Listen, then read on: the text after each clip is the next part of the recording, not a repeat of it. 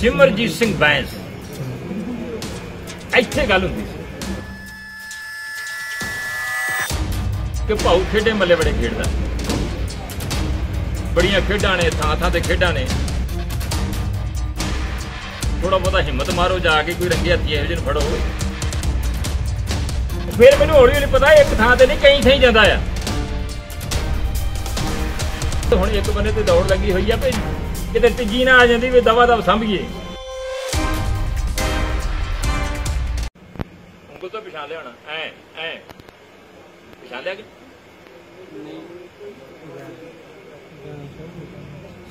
ਸਿਮਰਜੀਤ ਸਿੰਘ ਬੈਂਸ। ਇੱਥੇ ਗੱਲ ਹੁੰਦੀ ਸੀ।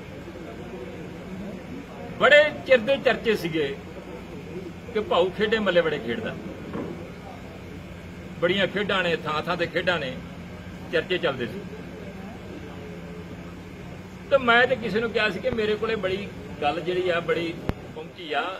ਆਪਦੀ ਪਾਰਟੀ ਦੇ ਕਿਸੇ ਲੀਡਰ ਨੂੰ, ਯਾਰ ਥੋੜਾ ਬਹੁਤਾ ਹਿੰਮਤ ਮਾਰੋ, ਜਾ ਕੇ ਕੋਈ ਰੰਗੇ ਹੱਥੀ ਇਹੋ ਜਿਹੇ ਫੜੋ, ਫਲਾਣੇ ਥਾਂ ਤੇ ਜਾਂਦਾ ਜੀ। ਉਹਨਾਂ ਦੀ ਢਿੱਲ ਰਹੇਗੀ ਫਿਰ ਮੈਨੂੰ ਹੌਲੀ ਹੌਲੀ ਪਤਾ, ਇੱਕ ਥਾਂ ਤੇ ਨਹੀਂ, ਕਈ ਥਾਂ ਹੀ ਜਾਂਦਾ ਆ। ਤੇ ਹੁਣ ਤੁਹਾਡੇ ਸਾਹਮਣੇ ਹੀ ਆ ਕਿ ਪ੍ਰਗਟਾਵੇ ਹੋਣੇ ਸ਼ੁਰੂ ਹੋ ਗਿਆ ਤੇ ਹੁਣ ਇੱਕ ਬੰਨੇ ਤੇ ਦੌੜ ਲੱਗੀ ਹੋਈ ਆ ਵੀ ਕਿਤੇ ਤੀਜੀ ਨਾ ਆ ਜਾਂਦੀ ਵੀ ਦਵਾ ਦਵ ਸੰਭੀਏ। ਹੁਣ ਸਾਂਭਣ ਤੇ ਲੱਗੇ ਆ।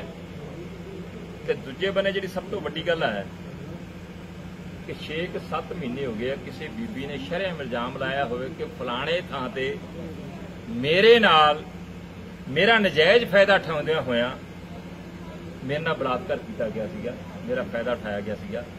ਤੇ ਇਹੋ ਜਿਹੇ ਕੇਸਾਂ ਦੇ ਵਿੱਚ ਜਿਹੜਾ ਹੈ ਪੁਲਿਸ ਦਾ ਮੁੱਢਲੇ ਰੂਪ 'ਚ ਫਰਜ਼ ਬਣਦਾ ਆ ਕਿ ਬਿਆਨ ਦਰਜ ਕਰਕੇ ਮੁਕੱਦਮਾ ਦਰਜ ਕੀਤਾ ਜਾਵੇ। ਲੇਕਿਨ ਉਹਨੂੰ ਬਚਾਅ ਕੌਣ ਗਿਆ 7 ਮਹੀਨੇ ਹੋ ਗਏ।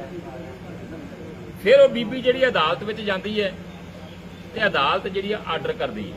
ਹੁਣ 7 ਮਹੀਨਿਆਂ ਤੋਂ ਕੌਣ ਬਚਾ ਰਿਹਾ ਆ? ਕੈਪਟਨ ਅਮਰਿੰਦਰ ਸਿੰਘ ਦੀ ਸਰਕਾਰ ਤੇ ਖਾਸ ਕਰਕੇ ਕੈਬਨਿਟ ਮੰਤਰੀ ਆਸ਼ੂ ਜੀ ਭਾਰਤ ਭੂਸ਼ਣ ਆਸ਼ੂ।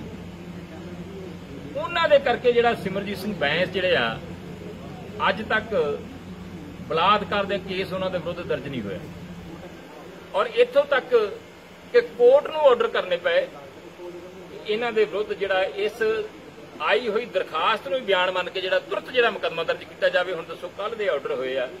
ਅੱਜ ਤੱਕ, ਹੁਣ ਤੱਕ 4 ਵਜਣ ਵਾਲੇ ਆ, ਮੁਕੱਦਮਾ ਦਰਜ ਨਹੀਂ ਹੋਇਆ।